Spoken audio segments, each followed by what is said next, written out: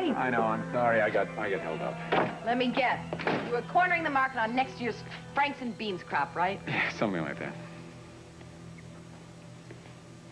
It's Maeve, isn't it? No. Kyle, the truth. She got to me again. I don't know. It doesn't matter what I do or what I say to her. She won't tell me anything at all about my baby or... I'm sorry. I did it again, didn't I? I let Maeve get to me. I'm sorry. I just, I just can't help it. Yeah, I've noticed. Ah, but then again, I mean, unless you're into ruts, I mean, we can always start this evening over again from the beginning. That's, that's a very good idea. Let's do that. Wait, wait. I mean from the very beginning, out the door. You're not serious. I'm serious. Out this door. I want you to start over again. I want you to make a grand entrance, and don't flub your lines this time. Get out there. Lights! Camera! Action! Hark! Is that a footfall I hear? Is that you, Don Juan? See.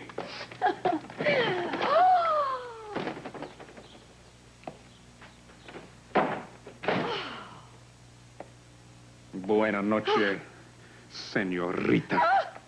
Mm, mm, mm. Bonsoir, monsieur. Oh, No. Wrong language. I need a translator. I don't.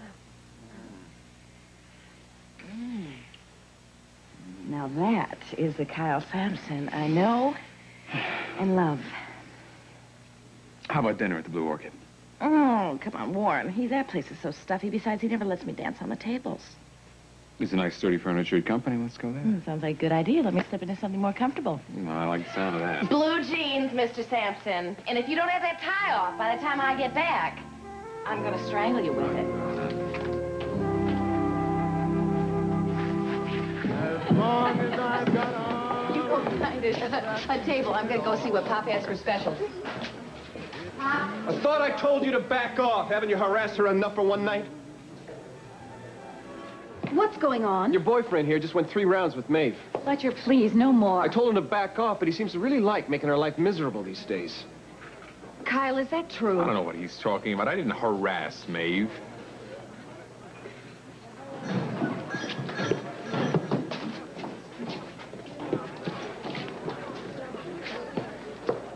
Andy's finest.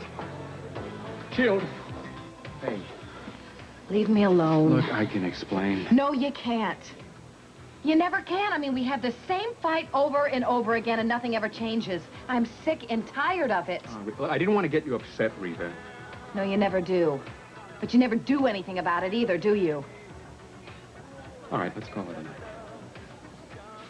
Fine with me. No, damn it. We always end the evening like this. It, it always ends like this. I mean, why don't we try something a little different tonight? Like what?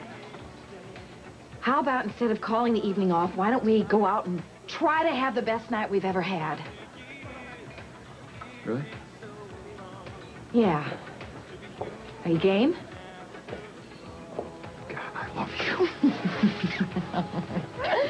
I love you too. What do you got in mind? How about you and me and the hottest spots in town? Think you can handle it? One way to find out.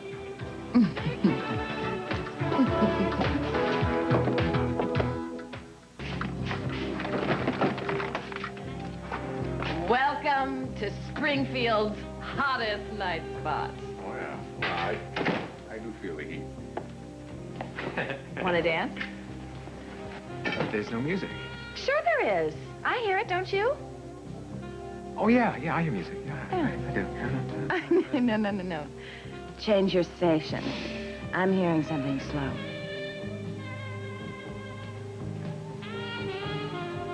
Like this? Hmm. You got it. You know, I want to thank you for salvaging the evening. I really learned something tonight. Well, I didn't do it just for you. I did it for me, too. I just wish it could always be this way. Can. With practice.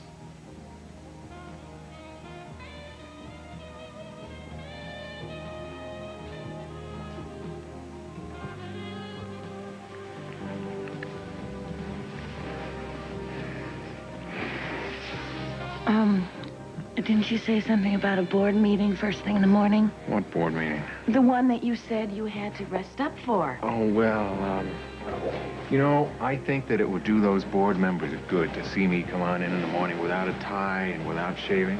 Oh, yeah? Yeah. Well, It might do them some good to see that you're a human being after all. I don't want to go. I don't want you to. But I think it would be best for tonight. I go on one condition. And you promise me that we'll have other nights like this. I hope we can.